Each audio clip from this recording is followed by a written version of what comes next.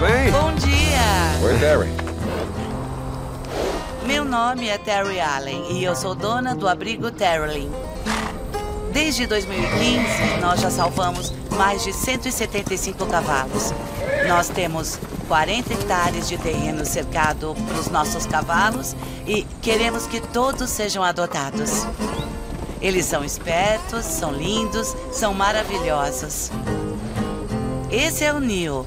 Ah, deve ser o da hérnia. É, esse mesmo, É, como tá bem saliente ver. na barriga. Isso não é bom. Eu tô preocupada, mas ele tá bem. Como ele chegou aqui? Ele chegou aqui através de um leilão.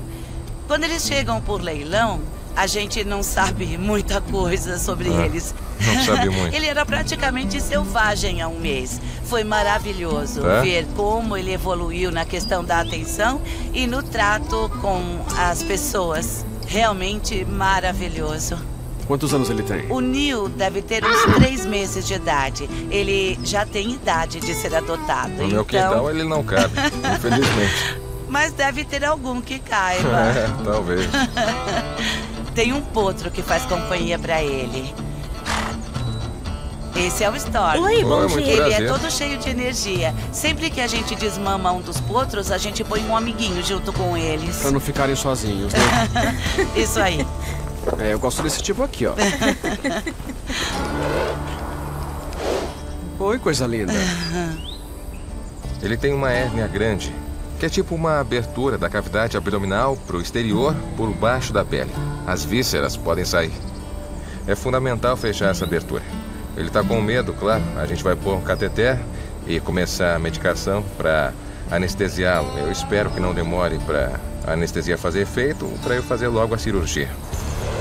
Bom, agora eu vou aplicar o sedativo. Normalmente, quando se opera um cavalo, a gente faz isso com ele em pé. A gente anestesia o animal, mas ele fica de pé o tempo todo. Nesse caso, ele precisa ficar de barriga para cima, porque é uma hérnia. Uma hérnia umbilical, que se formou bem ali na região do umbigo. Ficou um buraco aberto. Pode ser resultado de o cordão ter sido puxado com muita força quando ele nasceu, mas se essa hérnia estrangular, ele pode morrer. É coisa séria. Ele tá pagando. Vamos lá. Isso, Vamos raspar? tá bem ali.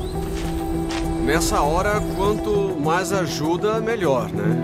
O Neil é grande. Pra garantir a segurança de todos, não é uma boa eu e o Jeff fazermos a cirurgia sozinhos. Vamos tentar operar o mais rápido que der, né? Já parece bem menor. É, já tá entrando, voltando pro lugar dela no corpo. É. Olha lá, isso é bom. Dá pra ver, é. Prepara o local. Pode deixar. Resumindo, tem uma parte saindo de dentro do corpo e empurrando a pele. Tem um calombo visível. A cirurgia consiste em empurrar o material para dentro e depois fechar o buraco unindo os músculos. Essa parte é mais grossa. É, vamos checar a pele. Olha, se ele acordar agora e começar a se mexer, a coisa pode ficar feia.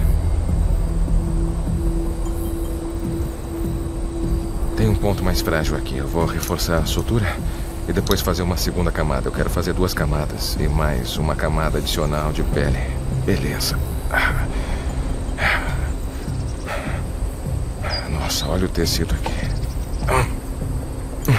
Pega um grampo e segura aqui. No meio, bem no meio pra mim. Aqui? No meio, aqui, no meio. Isso. Tá.